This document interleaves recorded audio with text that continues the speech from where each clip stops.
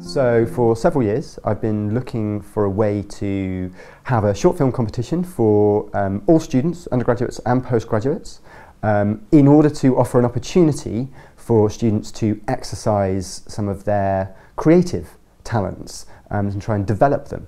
And because this year the Arts and Science Festival is running their programme on the theme of sight and sound, that seemed like an ideal opportunity to give students the chance.